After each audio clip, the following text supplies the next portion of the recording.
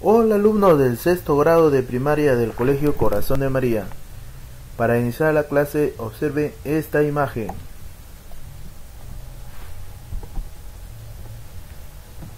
A ver, ¿qué pueden visualizar en esta imagen? ¿Qué podría ser? ¿Mm? Muy bien, el tema de hoy es el pentagrama. El propósito es que ustedes aprendan a identificar el pentagrama.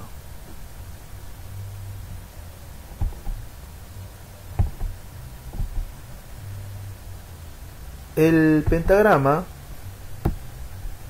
viene del griego que significa penta, que es 5, y grama significa escribir. Se dice que es el lugar donde se escriben las notas. Notas, ¿qué tipo de notas? Musicales. Y todo lo demás, signos musicales. Entonces, todo esto de acá viene a ser el pentagrama.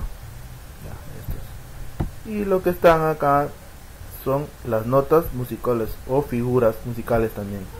¿Ya? Así es el pentagrama. ¿Tiene un origen el pentagrama? Claro que sí.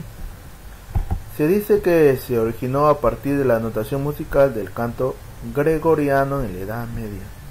Entonces así se realizaba el pentagrama en la Edad Media para el canto gregoriano. Así era la partitura, así se escribían las figuras musicales también.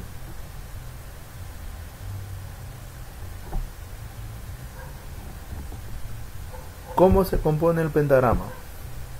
Bueno, tiene cinco líneas y cuatro espacios que se enumeran de abajo hacia arriba. A ver, cinco líneas. 1, 2, 3, 4, 5 líneas. ¿ya? Y los espacios son 1, 2, 3 y 4. Si se han dado cuenta, siempre la cuenta es de abajo hacia arriba. Entonces, así se compone un pentagrama el cual ustedes también lo pueden hacer. Es muy fácil.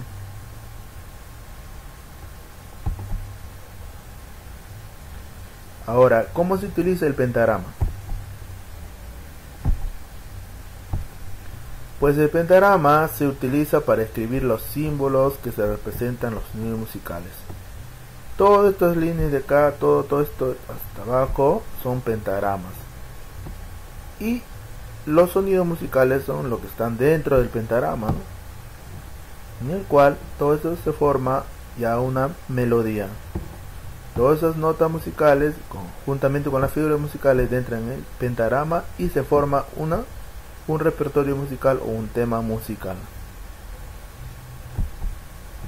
Bueno, acá se le deja la actividad. Muy bien alumnos, eso ha sido la clase del día de hoy.